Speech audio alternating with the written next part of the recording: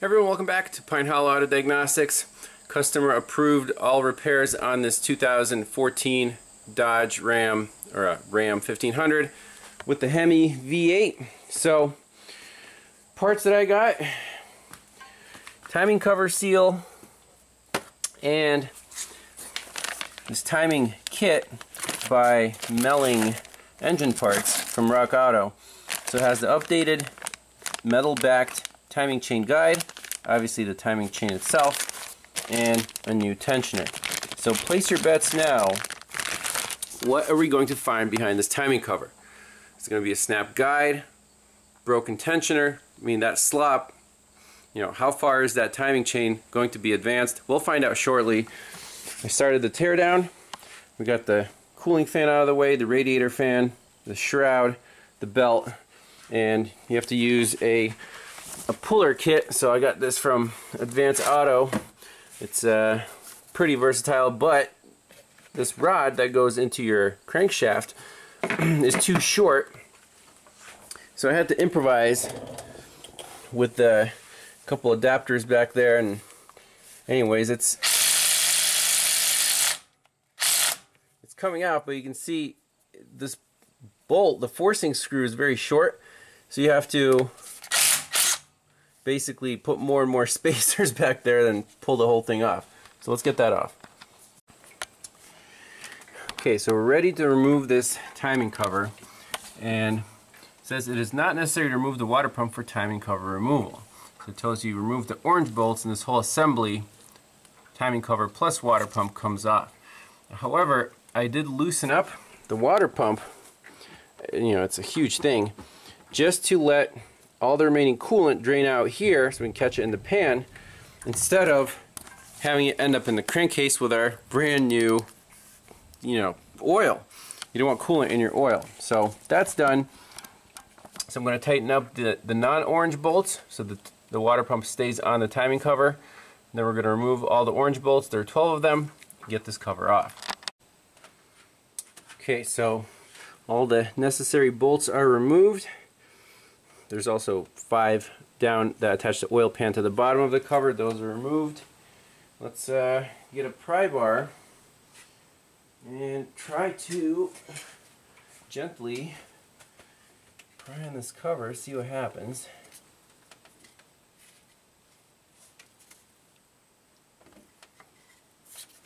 Listen. Oh, there's one more right here.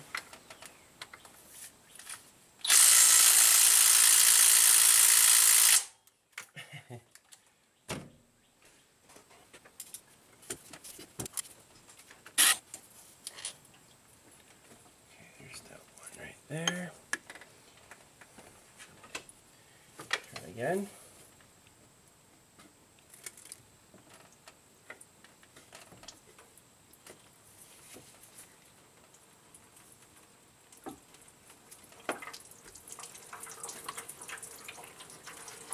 There's more coolant coming out.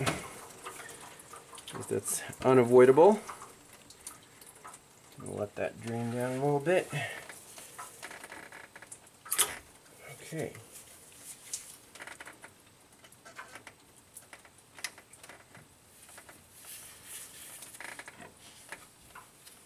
Sweet.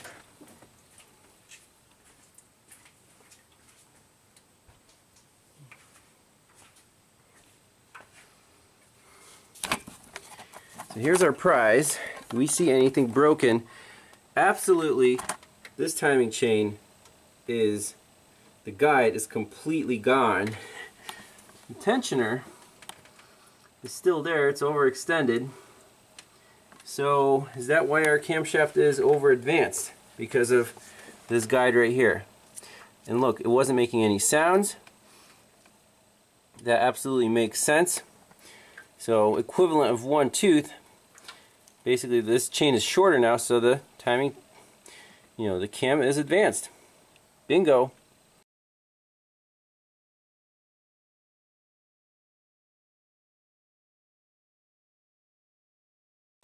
That's all we needed to see. So now, to get to this timing guide, we gotta remove this oil pump.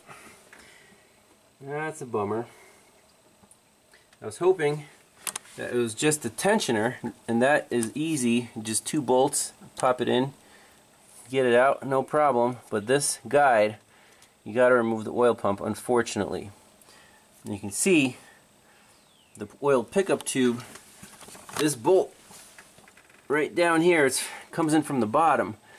So I can undo these bolts and see if the oil pump will slide out enough to get to that bolt but otherwise I really don't want to take off this oil pan. So now, probably the trickiest part of this procedure is getting out this bolt that holds the pickup tube to the oil pump. It's one bolt, it's 13 millimeters. I loosened it up, but as you can see, there is basically no room. You can kind of spin it with your finger gently, and it's upside down and we don't want it to drop into the oil pan. So I'm gonna probably put a magnet there to just to catch it. It's a pretty long bolt. Uh, so I'm gonna have to get that off you know off camera.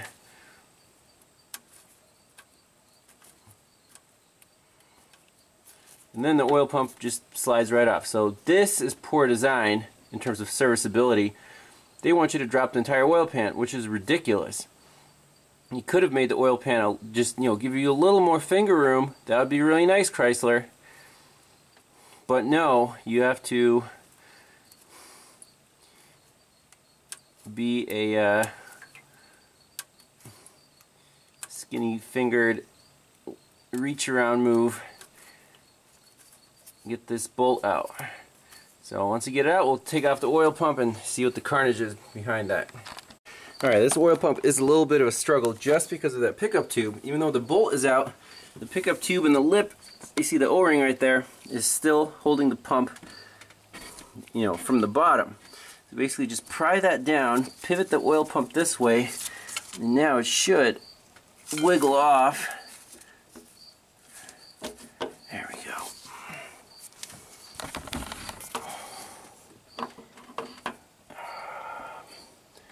There is our prize.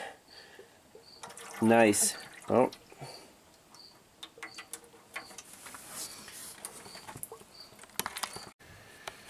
So I put the tensioner back on. This is the way the chain was, you know, as is, as the truck is. Timing guide is obviously chewed up, but that does not explain how this chain, how this camshaft is advanced. We saw on the scope that it was advanced about 15 crank degrees. So what I want to do is rotate the engine and line up the timing marks. So on the cam, we're going to be, the little mark should be, you know, at, at the very top. And on the crank, there should be a little dot kind of almost at the, at the bottom. So right now, now if you, will be able to see this, see this on the camera, but the mark on the camshaft is right there, and the mark on the crank, it's really hard to see. There's a little dot, kind of right where that you know link is.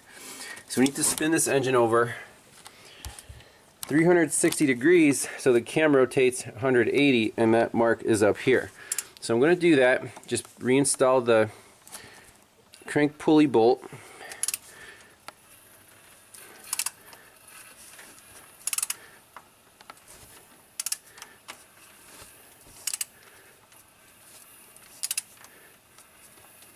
Let me do that and then we'll see if this if the camshaft is advanced then this mark will be right up here but the crank will not be all the way you know down that dot. And then we can count the actual links on this chain and compare it to you know the new chain as it comes with assembly marks. So basically there's one mark right there. There's a mark right there yeah, that's double mark for the cam. those two links are marked, and then this one is for the crank. So we can count exactly how many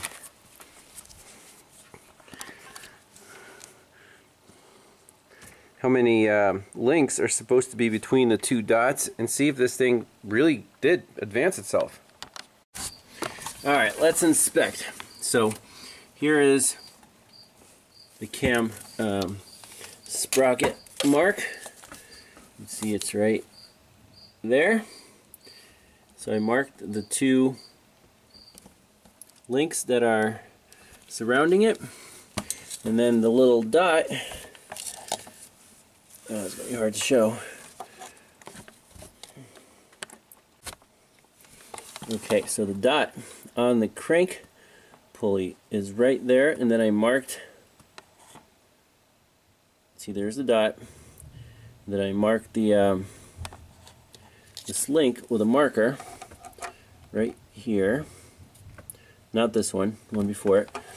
Now let's count how many links it takes to get from the dot to the camp So 1, 2, 3, 4, 5, 6, 7, 8, 9, 10, 11, 12, 13, 14, 15, 16, 17, 18, and then we have the mark.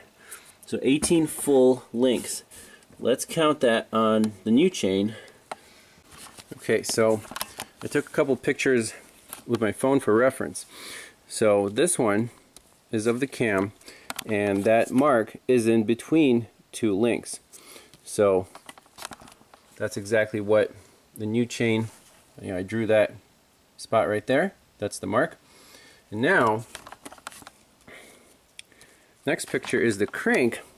You can see that dot right there is in between two links. And we have exactly 18 links between the two marks. So let's count 18 links.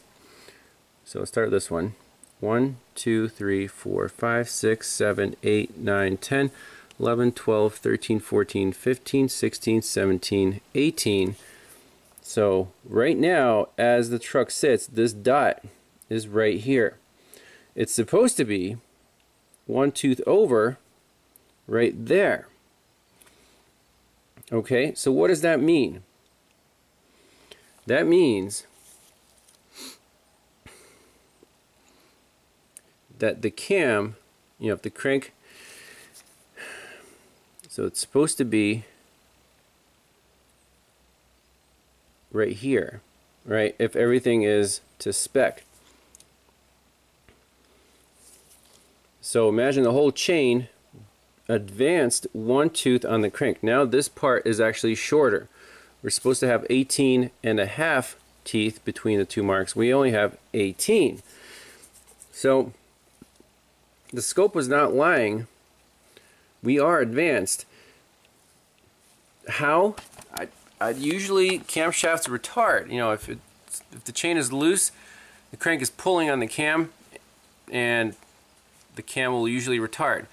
But sometimes the forces on the cam, you know, it does go back and forth because the valve springs or the uh, lifters or something are pushing on it. So, for example, if this thing broke and the crank stopped and the cam was like, pop, advanced one tooth, that's exactly what happened. So, very, very neat. Uh, one thing we can do is actually measure the degrees, like how many teeth are on the crank sprocket. Uh, divide that by 360, or divide 360 by the number of teeth, and see, you know, let's say the cam advanced one tooth, okay, but the guide is super worn. So that would actually relax that chain and shift it back to home base. So it might not be exactly one tooth advanced, but it's still advanced. I like it. So let's put on some new components, chain, obviously the guide, tensioner, put this thing back together. Uh, we'll have to do a cam crank relearn and take a known good scope capture.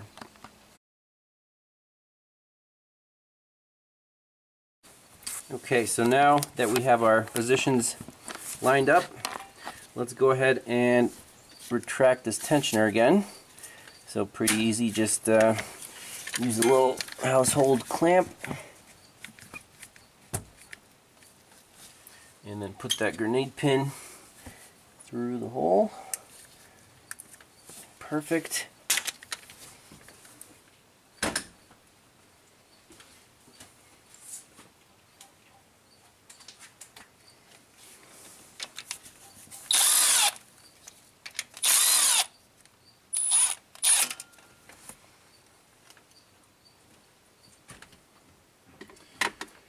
Obviously we're going to take off our busted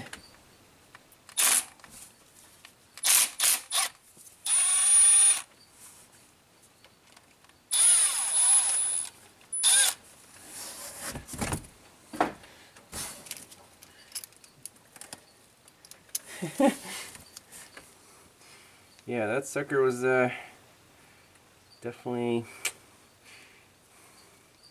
definitely getting a little thin right there. Pretty crazy. Now, the question is, can I get this chain off without removing the cam phaser? Maybe, maybe not.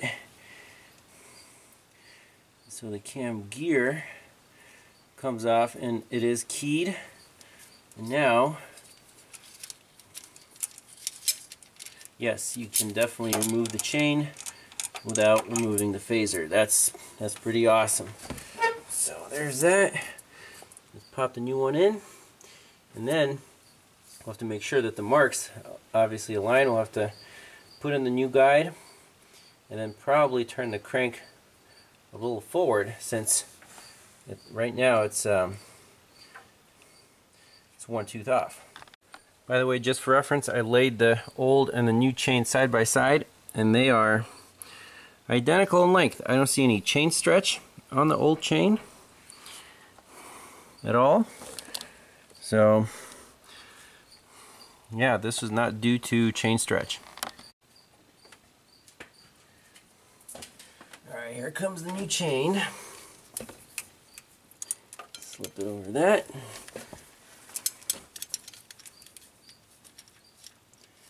Make sure our mark lines up right there.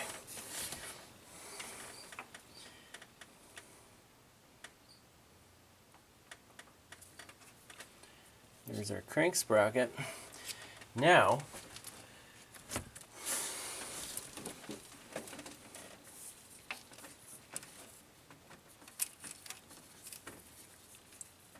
basically want to slip it on to the sprocket itself.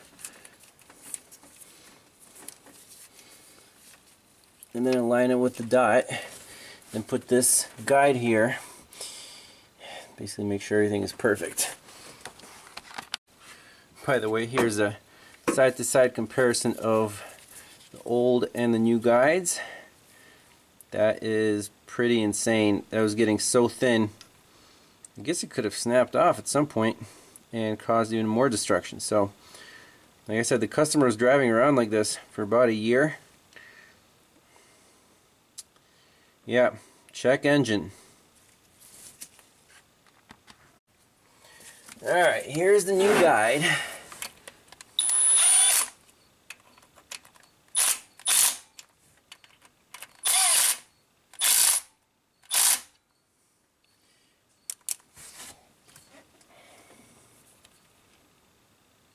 See how much slop there is right there? So you have to move the crankshaft forward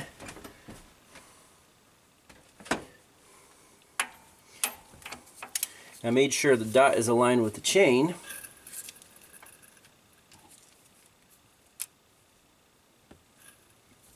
Let me just double check.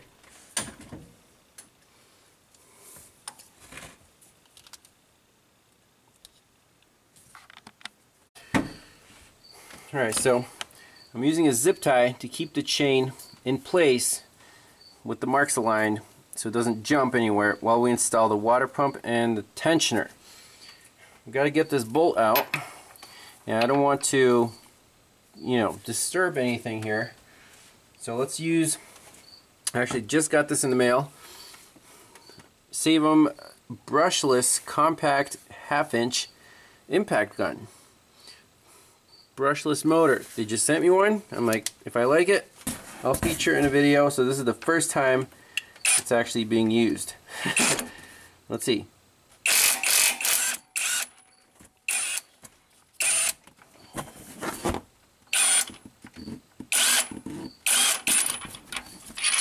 Interesting.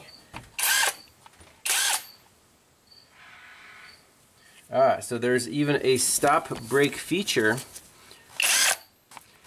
You see it goes in little pulses. Let's see here. No stop break. So it has a low and a high mode, I think.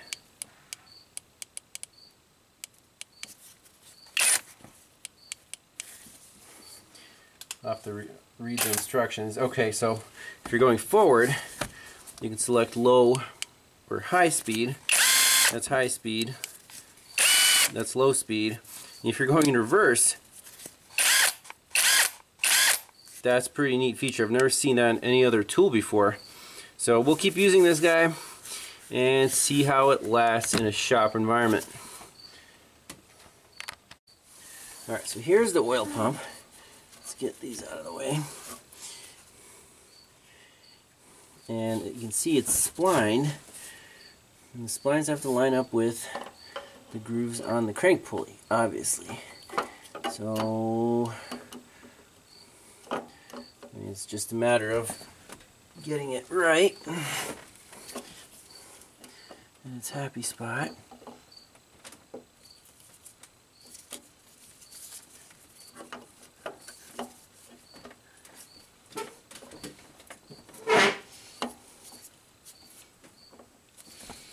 So this is gonna might take a little bit of effort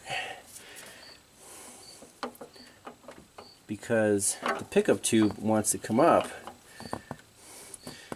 the oil pump, what if we just put it on here first and compress it down. And I'm going to do this off camera because it's a pain in the butt. Okay, so I slid the oil pump on. Just as long as you align the grooves, it goes on pretty easy.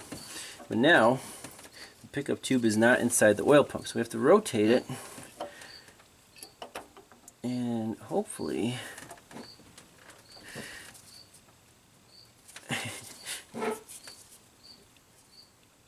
oh, this is so much fun so I'm going to gently hold the pickup tube to the side and then hopefully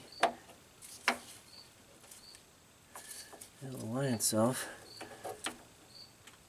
with the oil pump.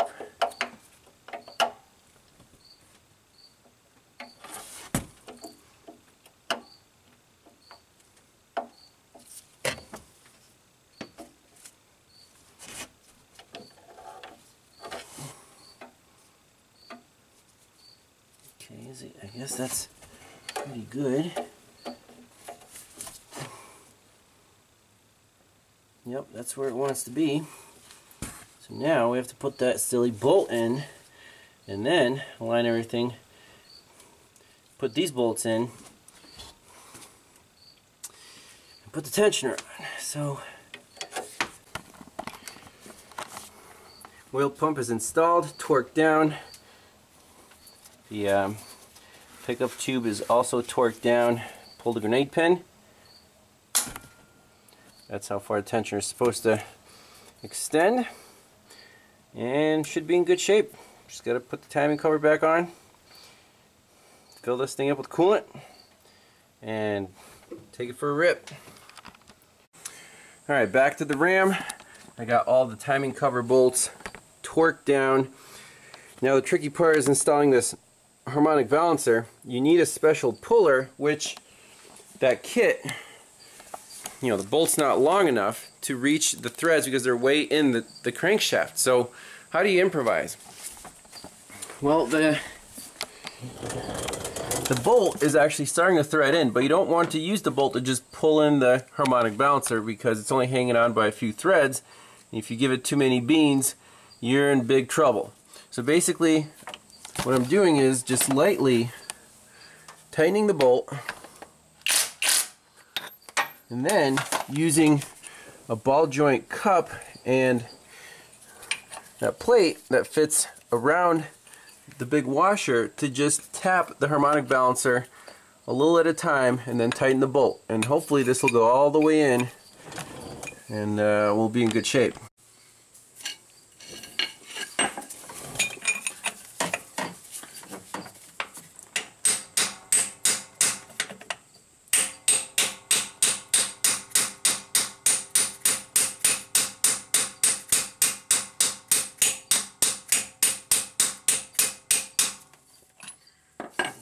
Taps. You can see the bolt is now loose. Tighten it up a little more. And just keep doing that procedure until the harmonic balancer is seated all the way in.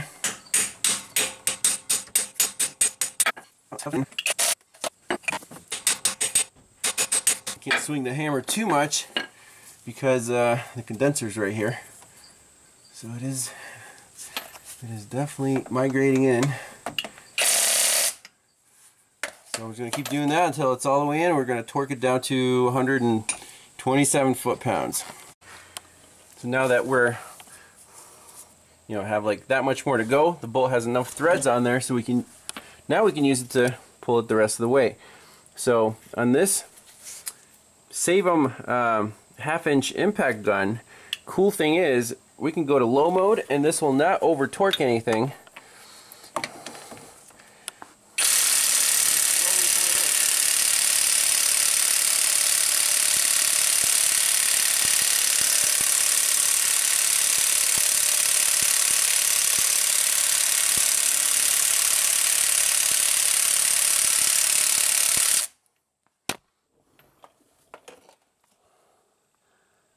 almost all the way there. A couple more millimeters.